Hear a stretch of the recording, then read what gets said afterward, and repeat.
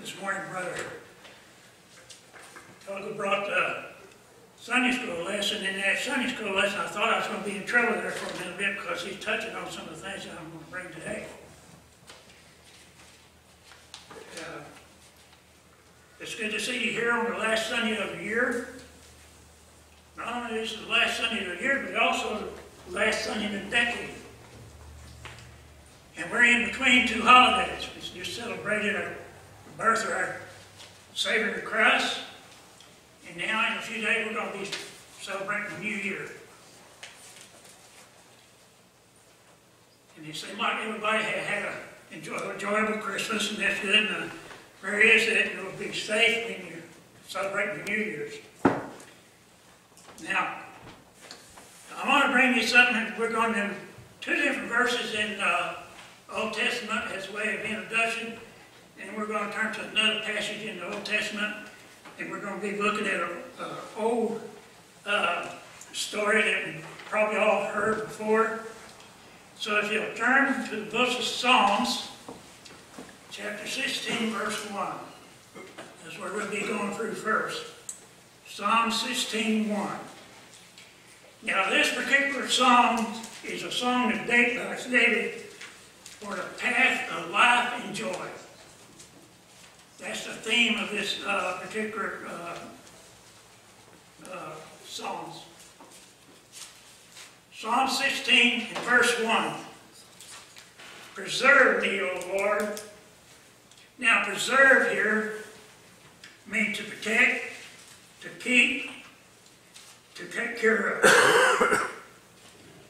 He's asking the Lord to preserve it, take care of it. And why?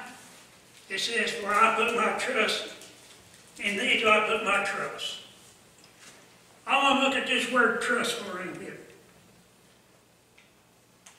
We learn at a young age to trust things, our people.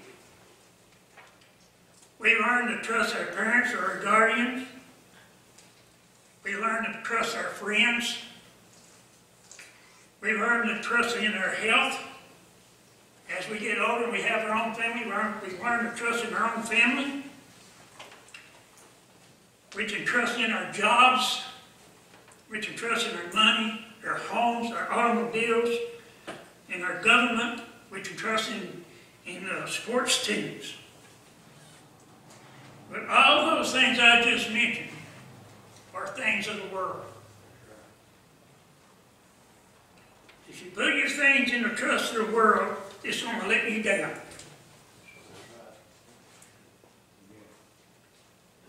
Our families can let us down. We can let our families down. Our friends, they'll turn on us if we're not careful.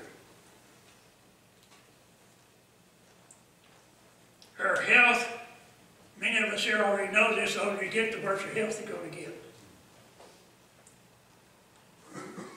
Your jobs, you can lose it. You can lose your money, your house will be burned. And as far as our government goes, we never know who can trust up there and who not to.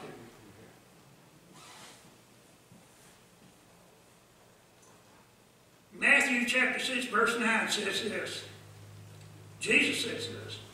Lay not up for yourself treasure upon the earth, where moth and rust doeth corrupt, and where thief breaks in through and steal. That's what's going to happen if we put our trust in the things of the world. But if we put our trust in the Lord, as David here says, He will provide for us and He will never let us down. Philippians uh, chapter 4, verse 19. He provides us with our needs. It says this, But my God supply all your uh, needs according to his riches by, uh, in glory by Jesus Christ. There ain't nothing that we can need that God cannot provide for us. Matthew chapter 6, verse 20 goes along with the one I just read a while ago, but this time he says, Jesus says, But lay up for yourself treasures in heaven, where neither moth or rust will collect, uh, corrupt, and thieves do not enter in to break, to steal. The Lord will bless us. And He'll be with us. He'll be with us when we're on the mountaintops. He'll be with us in the valleys. Psalms 23, verse 4. They, they, though I walk through the valley of the shadow of death, I shall fear no evil.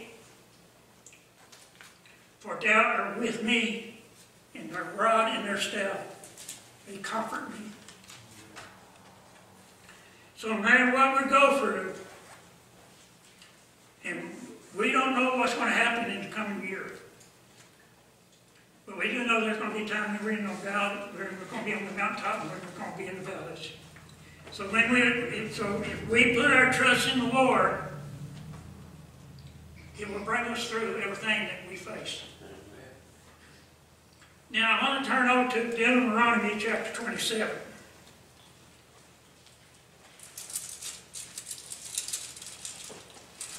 Deuteronomy chapter 27. I want to look at one verse. And that's going to be in verse 10. The Lord leads up to this after Moses uh, receives the commandment, uh, and then he, uh, to, uh, him and, uh, he delivered the uh, commandments that God gave him to the Israelites. And uh, he says this in verse 10. Thou shalt therefore obey the voice of the Lord thy God, and do his commandments and his statutes, which I have commanded you this day. Now, To put one word out of that verse, and that's trust, or obey.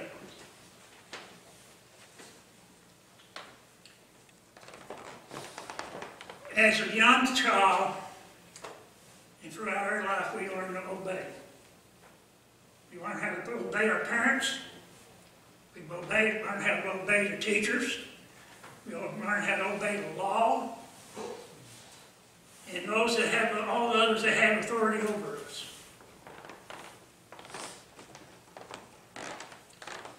Now, when we disobey, there are consequences to pay. As a young child, we disobey our parents, there are consequences. When I was growing up, if my daddy told me and my brother to have the yard mowed before he got off at work from work at five o'clock, if it wasn't done, there was consequences. And it was usually in a farm about an inch and a half to two inch. Usually leather, leather about 32 inches long. On one end had a buckle, and on the other end had holes to adjust the size. You know what I'm talking about. If you don't, it was a belt. Now, if we disobey the teachers, there are consequences to pay in school. If we disobey the law, it depends on what it is. If it's a traffic fine or something, your checkbook is going to be a little bit lighter than what it was before. And the more serious the offense, the more uh, serious the consequences.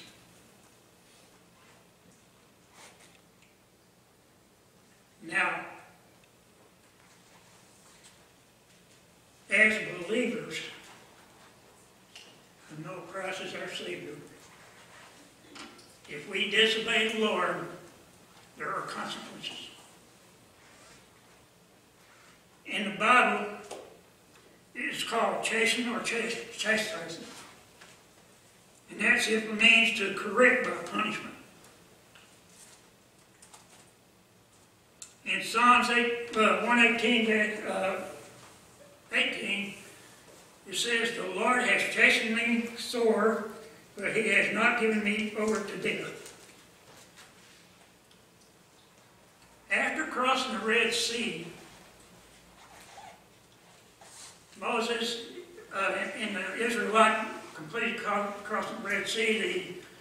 The uh, Egyptian army was right behind them. And then when they crossed, the sea caved in and drowned all know, the Egyptian army and their horses and everything. Shortly after that, Israelites started murmuring or complaining about water. They were thirsty.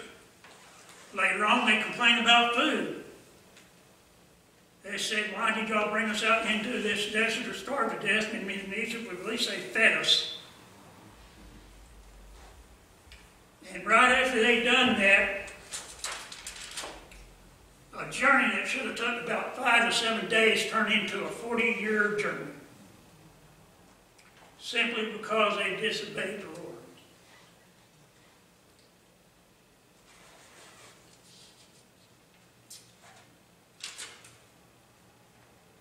Now, that whole, that whole uh, generation, uh, men and women at that time of the Israelites uh, did the Exodus, seen the promised land. They didn't even enter into it. Now, Moses, when he, uh, when they needed water, God told him, said, go speak to this rock and I will provide the water. Moses went up and struck the rock with his staff. He disobeyed the Lord. They did get the water they needed, but Moses was told that he would not enter into the, the with him, but he should see into it. And right before he died, he was allowed to go up on the mountain and look into the promised land to see it. Now there was two other men that was allowed to enter into it, and that was Joshua and Caleb. They was allowed to go into it because when they went to uh, spy out the land, all the other spies come back and gave them a negative report. Oh, there are giants in that land, the cities are all fenced. We have no way of conquering. But these two men, they come back and they give them the report that the Lord wanted them to give. And so they was able to see and go into the promised land, and Joshua even replaced Moses as the leader of the Israelites. Caleb, for his reward, God told him that he could have his choice of all the lands that was captured. So that was his reward for doing what he was supposed to do in uh, his report.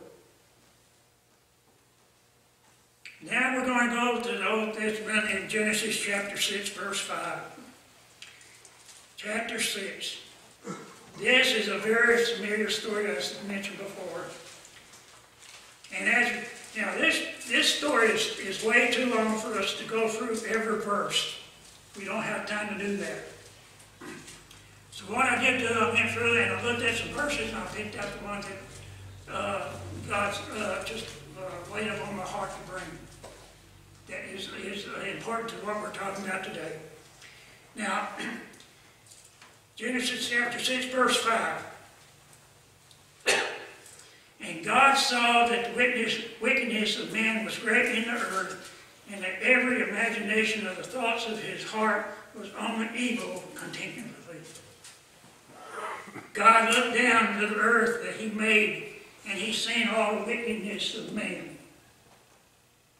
The imagination, that being the purpose and the desire, and it was without secret. And as I thought about this and I looked at this, I started thinking about today. When God is looking down today, what is He seeing in people's lives? Does He see all the wickedness that is going on in the world today? Disobedient children. People living together out of wedlock and having babies out of wedlock. homosexuality. Now it's called an alternative lifestyle.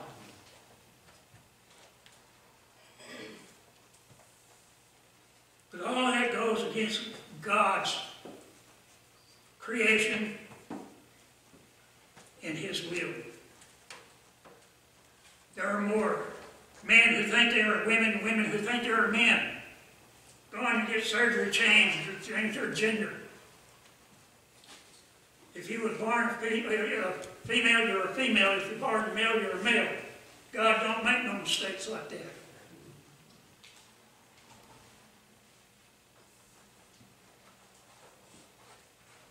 All the hatred that is going on throughout the world towards other people. Shooting increases every year. Killing babies in the womb is okay. There was some congressmen, congressmen, some up in Washington D.C. trying to pass a deal where after the baby is born, the parents have so long, and if they something happens, they don't like that baby for if a health issue or deformity or something, they have the right to end that baby's life.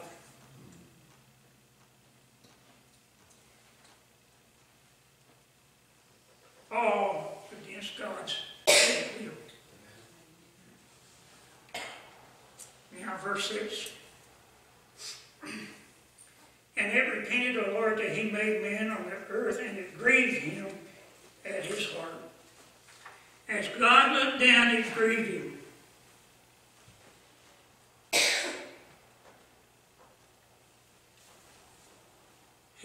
He created man to have a relationship with him. In the early part of uh, Genesis, it said that God went to the Garden of Eden in the cool of the day to talk to Adam. But now they have strayed so far away from him.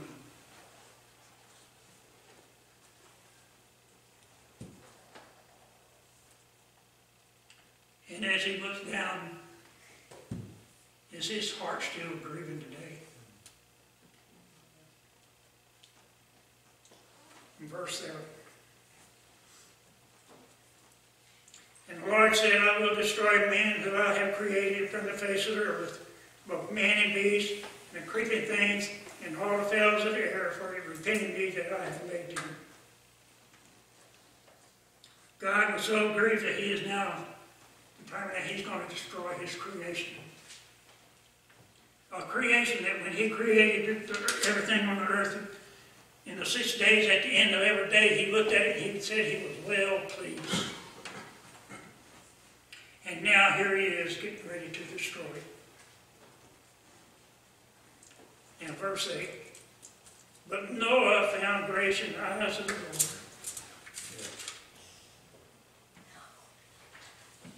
Out of all the entire population that was on that earth at that time, I don't have no idea what it was, so I can't even guess. And all the wickedness that was going on, God found one man. One righteous man. One man who trusted and obeyed God.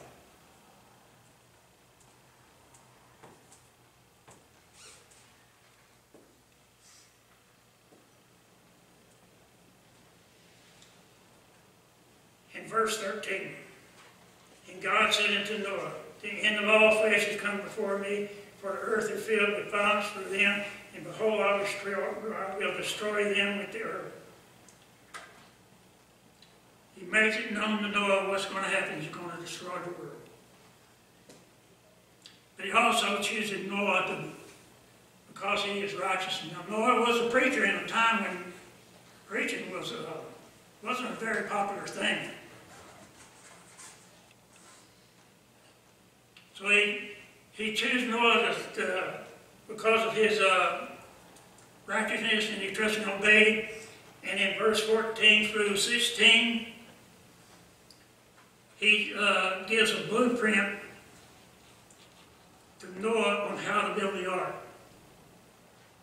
Build out of gopher wood in verse 14. The height, the length, the width,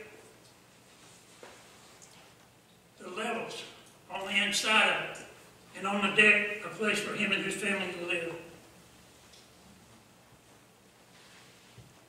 He even tells him to put a window in.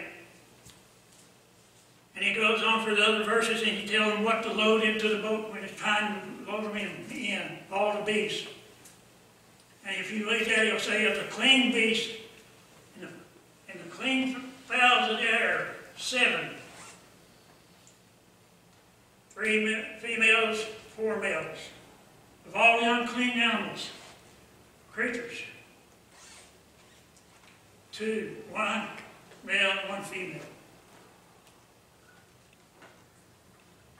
Now, to find out in the Bridgewaters, uh, God commanded is, uh, clean and unclean, you'll have to read through the uh, Bible and the law that was given to Moses, uh, Moses, where it describes all that.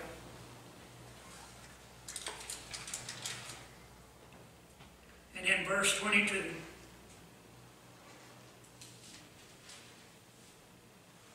I'm gonna go eighteen first, verse eighteen.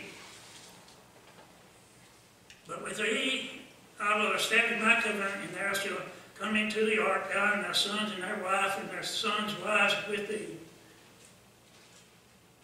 He made, God made his covenant with Noah and his family.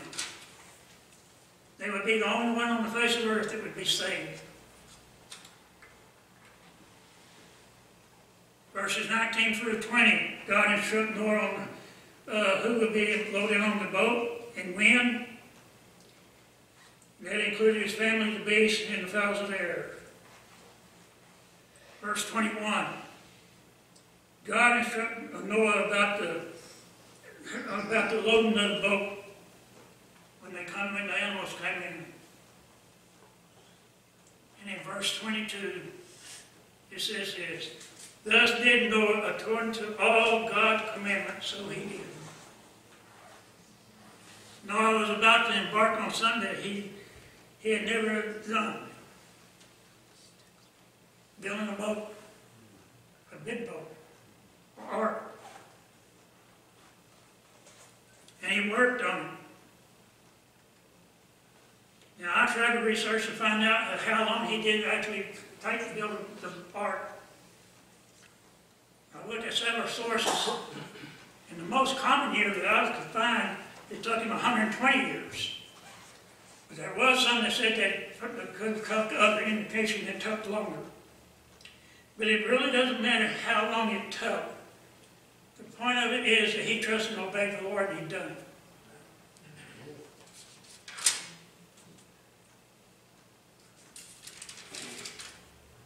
Now, this should be a good example for us.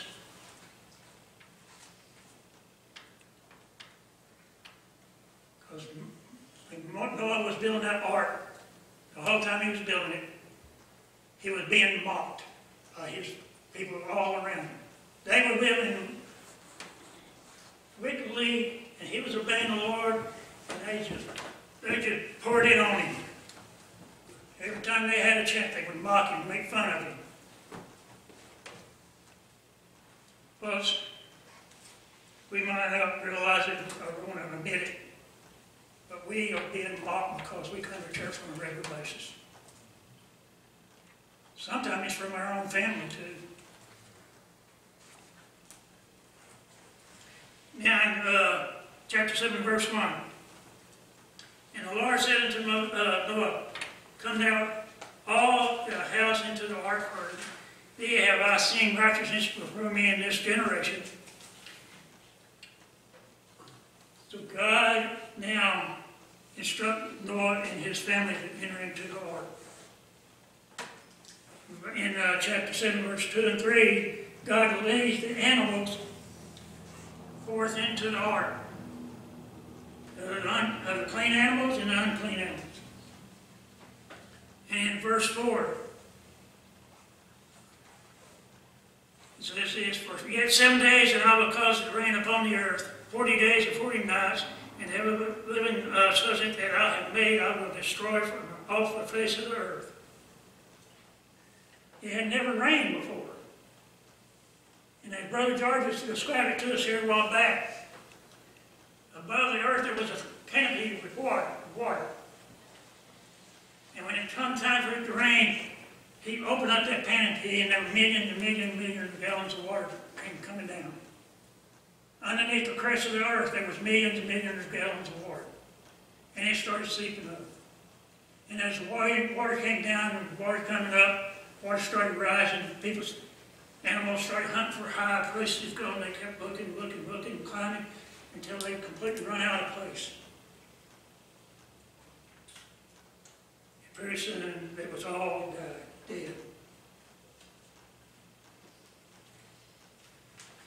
And then when the animals were loaded, God shut the door.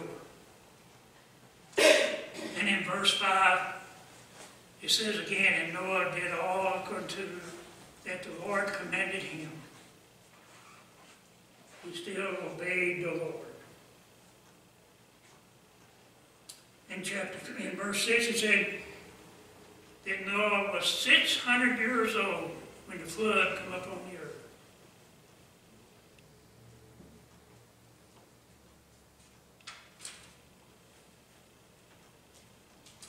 Now, going down to verse uh, 12. And the rain was up on the earth 40 days and 40 nights. That's a lot of rain. That's a lot of days for it to be raining. But it came down. All that water came down 40 days and 40 nights. In verse 21 and 23, uh, or 20, yeah, verse 21 through 23. And it says that all flesh that was on the earth that was not in the ark died. And in verse 24 it says this, and the water was up on the earth for 150 days. That's a long time. Now in verse, in chapter 8, verses 1 through 3. It says that the water started rescinding, started to dry up. Verse 4 says the ark rested upon the Mount Ararat. Verse 6, it says after 40 days, Noah opened the window. God told Noah to open the window of the ark.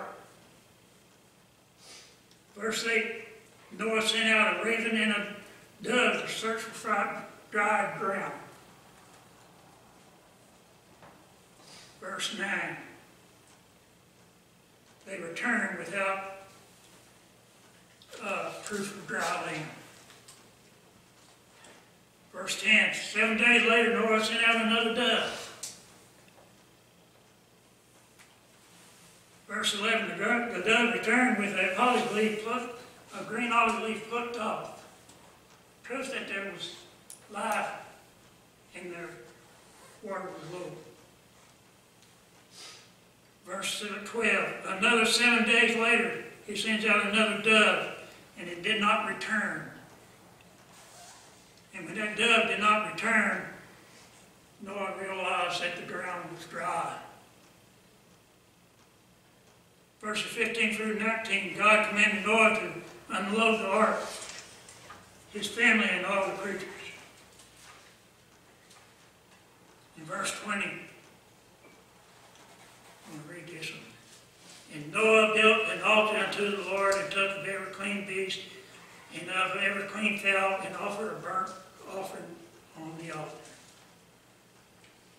Now, did you hear when I said there was four males of clean? You wonder why it was odd number?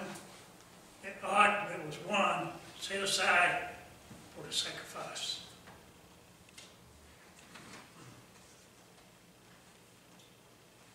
Verse 21, And the Lord smelt a good, a sweet flavor. And the Lord said in his heart, I will not any more for man's sake, for the image of man's heart, for the imagination of man's heart is evil from its youth. Neither will I again smite any more ever living things as I have done. He made a promise that he would not flood the world again. And every time we see a rainbow, that is a reminder of his promise to us.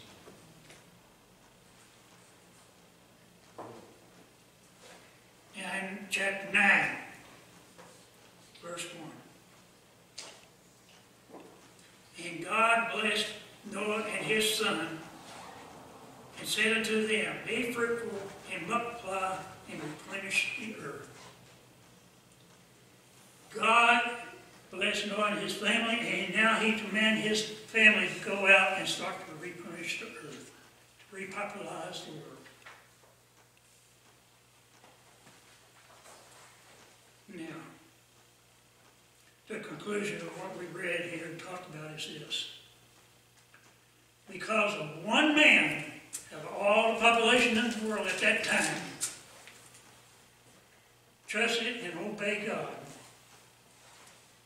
We are here today being able to worship the Lord. Now, we can look through the Bible and see many other others that trusted and obeyed the Lord. We can look at Abraham. Twice in his lifetime. Once he was told to leave his, at 75 years old, he was told to leave his parents' house and country and go into a country that God would lead him to. And he left the next morning without knowing where he was going. 35 years or so later, after God had given him and his wife the, the uh, child that he promised them, God told him in the middle of the night, take your son and go into a mountain and I will show him and sacrifice him to me. And this morning, without question, Abraham got up and followed the Lord. And when he got to that mountain, he built the altar. He laid his son down on the altar. He was ready, had the knife ready to put into him.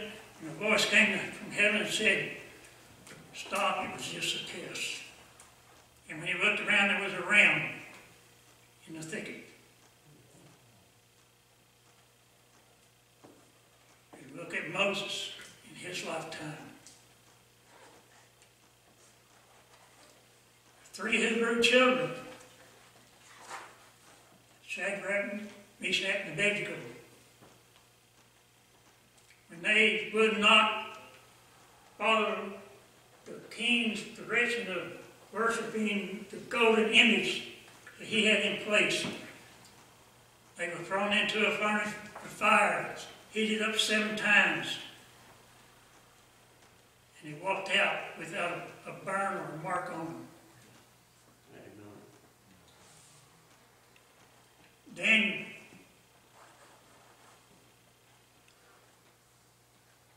Disobeyed the king's decree of praying to anybody except to the golden image, and every three times a day he would look face toward Israel and pray. And because he done that, he was thrown in the lion's den. And of course, we know what happened in the lion's den. He walked out the next day alive. You read through First and Second Kings and First and Second uh, uh, Chronicles. When, it, when the king of, of Judah and, and, Israel of uh, Jerusalem, when they trusted and obeyed the Lord, there was peace in their life mostly. If there was war, they won the battles. There was plenty. Of, they had plenty to eat, drink. It was happy. But then when the next king come in, and he didn't follow the Lord, they, they had war, they lost it, fenced around the building, uh, their cities was torn down, their cities was destroyed. they was often marched into captivity years. And there's others we could look at too, some of the prophets. And in the New Testament, I think of one. A man by the name of Saul, who persecuted Christians. Went so far as to get a letter to go to Damascus to bring uh, Christians back know, back to Jerusalem to be punished. All Boys, girls, men and women, it didn't matter what age, they was going to chain them and drag them back to be punished and on the road to Damascus. A light shone around him and he was converted. And God changed his name to Paul. And Paul became one of the first century missionaries. He also became one of the most famous and well-known missionaries even through this time. He faced a lot of things in his life. He was beaten and thrown out of cities. He was stoned. He was thrown in prison. He was shipwrecked twice. And then one of them shipwrecks, a a deadly snake come out of the fire and bite him, it lashed on to him. And then it let go, and even the islanders were surprised that he even survived. And he ended up being serving the rest of his life, living the rest of his life in a Roman palace under house arrest, but had the freedom to move around. He moved around and he still went out and preached to the Jews. All because they trusted and obeyed the Lord.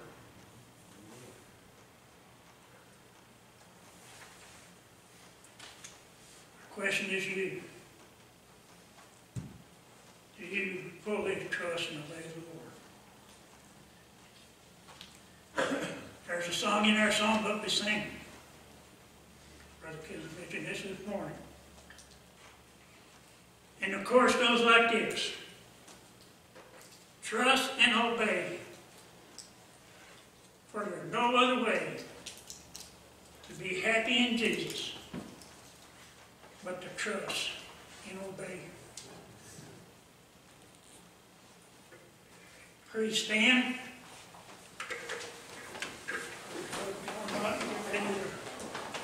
Invitation. We're going to have an invitation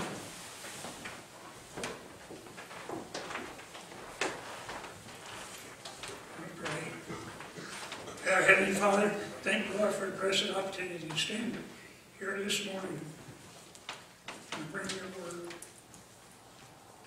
Lord, I pray, Lord, that it will help somebody here today in their life. Lord, I pray, Lord, you'll have your will in your way in this invitational time. In Jesus' name I pray. Amen. Say number 99. Number 99.